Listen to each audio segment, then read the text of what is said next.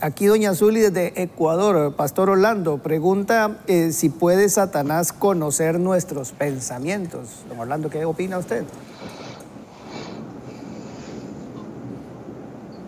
Satanás eh, como persona es un ángel caído y no, la respuesta es no, ninguna escritura existe en la palabra que indica que él tiene ese tipo de eh, poder, pero existe la influencia del enemigo que también afecta a la mente. Entonces hay que discernir aquí, si te estás refiriendo a la persona, no, yo no lo creo, eh, pero si la persona abre la puerta en su vida para que hayan movimientos demoníacos en la vida, no es que los demonios vengan a leer tus pensamientos, sino que pueden tomar tus pensamientos, ingestar ideas. Eh, apóstol Pablo habla de que debemos conocer las maquinaciones de Satanás. Lo que sabemos es que él piensa y que hay fuerzas demoníacas que sí pueden operar en los pensamientos, pero en vez de ser que están tratando de ver lo que tú piensas, es que están tratando de controlar tus pensamientos, como dice el apóstol Pablo a los Efesios, que vivíamos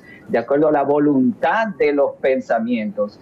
Y esos pensamientos están bajo el poder del príncipe del aire. Entonces, esa sería mi respuesta. Eh, Roger, yo añado algo más. Estoy de acuerdo en la esencia con Orlando, pero déjeme decirle algo a Zully. Zully, óigame bien. Todo el mundo sabe lo que usted está pensando. Todo el mundo sabe lo que usted está pensando, no tan solo el diablo. Lo sabe su familia, lo saben sus amigos, lo sabe todo el mundo. La Biblia dice, ¿cuál es tu pensamiento en tu corazón? Así tú eres.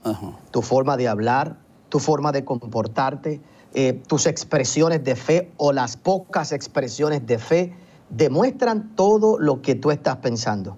A lo mejor pensamos nosotros que tenemos una parte secreta en nosotros, que, hay pensamientos que no, que no manifestamos y que si la gente se diera cuenta, la realidad es que todo pensamiento que albergas en tu corazón y subconscientemente también es parte de tu expresión, es parte de todo lo que tú haces, es parte de todo lo que tú dices. Así que, Zuli, óigame bien, todo el mundo siempre ha sabido lo que usted está pensando.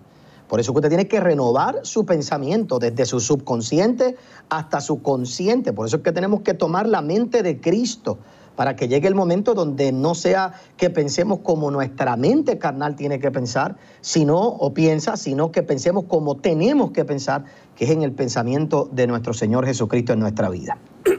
Excelente, Pastor Otoniel. Incluso yo ya la voluntad de Dios es que llevemos cautivos nuestros pensamientos a la obediencia a Cristo. Entonces, eh, también hay que tener en cuenta que usted tiene que tomar control de sus pensamientos y no dejar que estos sentimientos, emociones, traumas o cualquier cosa que esté trayendo a su vida, porque como dice el superpastor, sí, eh, somos lo que pensamos.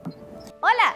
¿Sabías que puedes ver este video y otros dentro de nuestro canal de YouTube? Nada más recuerda suscribirte a nuestro canal y activar la campanita para que te puedan llegar las notificaciones cada vez que cargamos un video nuevo y puedas ser el primero en verlo y disfrutar de todo nuestro contenido.